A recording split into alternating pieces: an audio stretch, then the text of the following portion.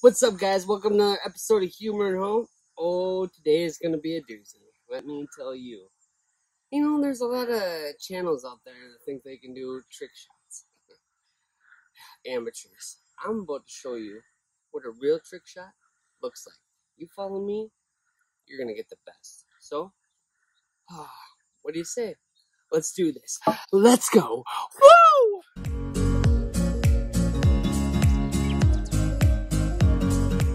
Ladies and gents, first up on the docket, the no look bouncer. What do you gotta do?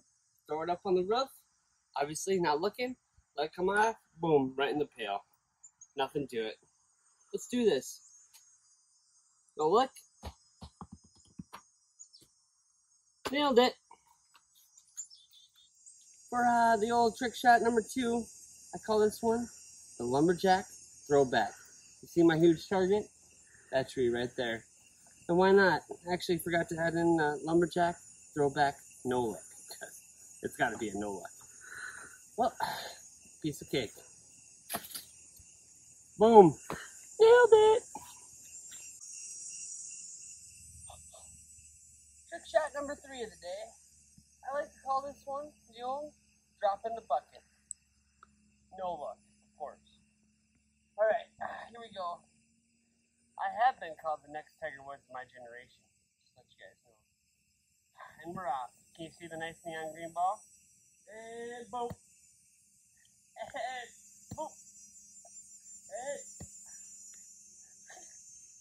Alright, no look. Nailed it. The last trick shot of the day, cuatro. That's Spanish for four. Yeah. Life lesson learned. Anyway, this is what I call no look bagger. Beanbag in the hole, no look. Ready? No look. Here we go. Wow. This is way too easy. Nailed it.